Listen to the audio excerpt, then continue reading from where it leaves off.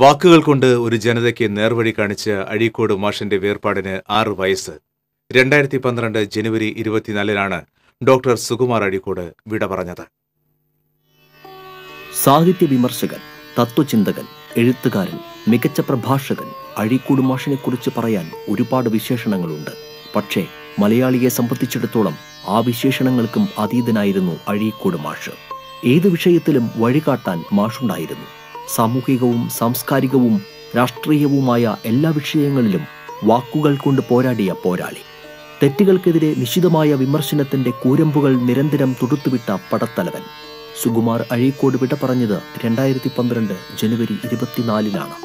എന്തും വെട്ടിത്തുറന്ന് പറയാൻ മാഷിന് ഒരു മടിയുമില്ലായിരുന്നു. ജീവിതത്തിൽ വലിയ പങ്ക് അധ്യാപകനായി ജോലി ചെയ്ത അഴീക്കോട് ഒരു ജനതയുടെ മുഴുവൻ അധ്യാപകനായി മാറി. ഓരോ വിഷയത്തിലും മലയാളി അഴീക്കോട് മാഷിന്റെ പ്രതികരണത്തിനായി കാതോർത്തിരുന്നു. മാഷുടെ പ്രഭാഷണം കേൾക്കാൻ കിലോമീറ്ററുകൾ സഞ്ചരിച്ച് എത്താറുള്ളവരുണ്ട്. ശാന്തമായി തുടങ്ങി ശ്രോതാക്കളെ ആവേശ കൊടുമുടിയേറ്റുന്ന മാഷിന്റെ ശൈലിക്ക് സാഗരഗർജനം എന്ന വിശേഷണം കൂടി ഉണ്ടായിരുന്നു. ജന്മം കൊണ്ട് കണ്ണൂർക്കാരനെങ്കിലും മാഷിന്റെ കർമ്മമണ്ഡലം തൃശൂരായിരുന്നു. പുരസ്കാരങ്ങൾ കുറച്ചൊന്നുമല്ല മാഷെ തേടിയെത്തിയത്.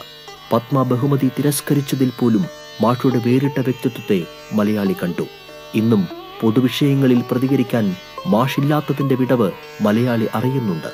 പയ്യന്നൂർ കടപ്പുറത്ത് അന്ത്യവിശ്രമം കൊള്ളുമ്പോഴും പുത്തൂരിലെ വീട്ടിൽ നിശബ്ദ സാന്നിധ്യമായി മാഷുണ്ടെന്ന് വിശ്വസിക്കാനാണ് തൃശൂരിനിഷ്ടം. സാംസ്കാരിക നായകനെ നെഞ്ചിലേറ്റിയ Thrissur ജനതയ്ക്കിഷ്ടം. T C V Thrissur.